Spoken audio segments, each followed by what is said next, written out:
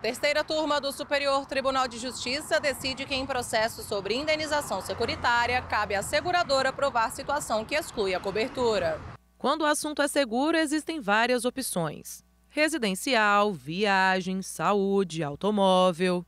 Sobre o tema, a terceira turma do STJ concluiu que em processos sobre indenização de seguro, deve-se aplicar a regra geral de distribuição estática do ônus da prova, ou seja, a seguradora deve comprovar as causas pelas quais a cobertura não é válida. No caso analisado, uma empresa de engenharia pediu indenização pelo incêndio de um guindaste na rodovia BR-316.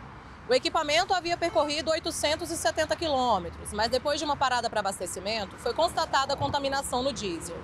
Após dois dias parado, o guindaste voltou a funcionar. Contudo, uma hora e meia após a retomada da viagem, pegou fogo e teve perda total. A seguradora negou a indenização, alegando a existência de cláusula que excluía a cobertura de veículos licenciados para transitar em vias públicas e a ausência de causa externa para o incêndio. Após ter o pedido negado em primeira e segunda instâncias, a empresa segurada recorreu ao STJ. Ela contestou a decisão que havia imposto o ônus de comprovar a causa externa do incêndio. A relatora do caso na terceira turma foi a ministra Nancy Andrighi.